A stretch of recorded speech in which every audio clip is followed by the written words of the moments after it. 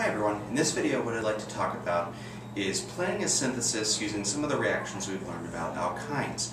And so to do this what I'd like to focus on is question 3b from your in-class worksheet.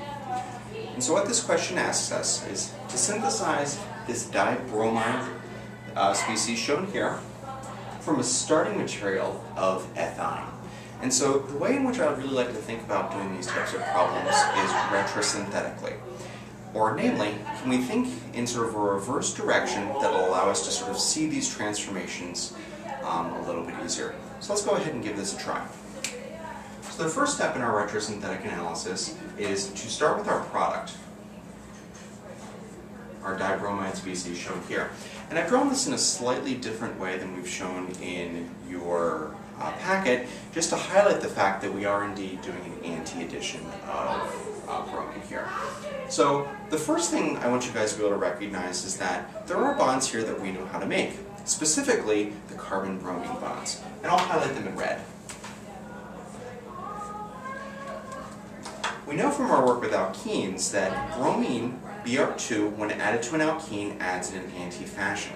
So we can envision synthesizing this dibromide from the following alkene.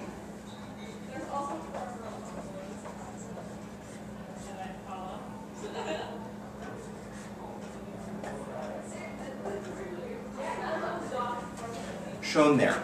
And so we can envision then adding in the forward direction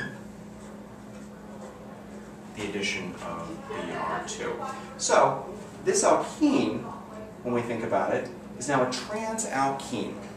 We know how to make transalkenes using one of our partial uh, reductions of an alkyne. So let's make the following disconnection at the hydrogens.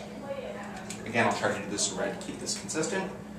Our disconnection here and here, realizing that we can add these in a partial reduction of an alkyne.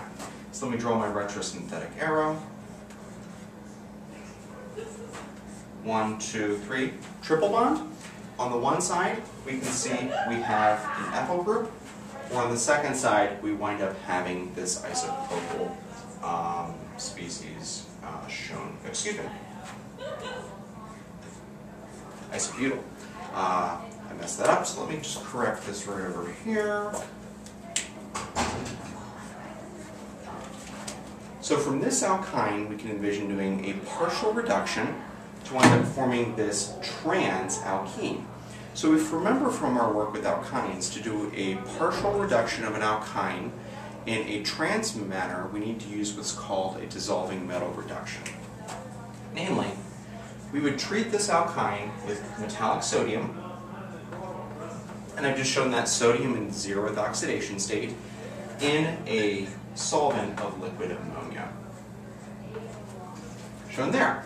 So what this winds up doing is providing the transalkene, which when subjected to an anti-addition of bromine, yields our following product, plus its an enantiomer.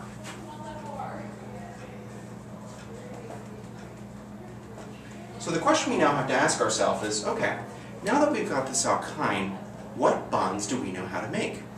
And this one's a little bit tough, but remember that using deprotonated alkynes, we now know how to make certain types of carbon-carbon bonds, namely sp3, sp carbon-carbon bonds. And so let's go ahead and make a disconnection at one of our carbon-carbon bonds. So what this will wind up looking like is the following.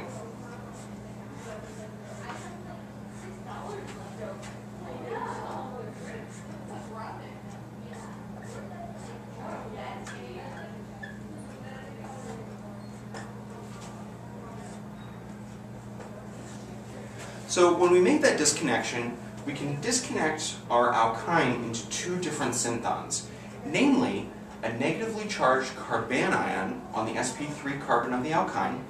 We know from our work with alkynes that this is actually a fairly stable molecule, and typically this will be accompanied by something like a sodium or a, a lithium counterion. On the other hand, we know that the positive charge that would result from sort of cleaving this bond here is not something we can really find in a bottle. So what we're going to do is take our synthon here and ask ourselves, okay, what type of molecular structure leads us to have a partial positive charge on a carbon? And so when you think about this, you should think about back to about week 8 of term 1 and imagine that, okay, if we had a really good leaving group, so one of my favorite leaving groups is iodide, we can envision a partial positive charge on this carbon shown here. So by combining these two, what we're able to accomplish is an SN2 reaction in the forward uh, uh, direction, which winds up producing our di-substituted alkyne species. And so, in reality, we're not quite done yet in the retrosynthetic analysis of our product. Namely for the fact that there's one more bond that we know how to make, and for the fact that this alkyne here isn't actually our starting material. Rather, our starting material is the starting material of acetylene or ethyne. So, let's go ahead and make this final disconnection. I'm going to draw this retrosynthetic arrow in a little bit of a diagonal manner to give us a little bit more room. And so what this tells us is that, okay, from an initial acetylide anion synthon, and remember, it turns out that these are actually fairly easy to make. You simply treat a terminal alkyne, in this case, um, ethyne, which means it has two different carbon-hydrogen bonds, which can be deprotonated with an equivalent of a very strong base. Something like sodium amide, uh, lithium hexamethyl disilazide, or LDA. And by adding in this uh, um, alkyl halide species, and again, I'll use an iodide just because I happen to like iodides. We can envision creating this carbon-carbon bond using an SN2 reaction. And so we'll just draw in that this is indeed SN2, and a very similar SN2 reaction here.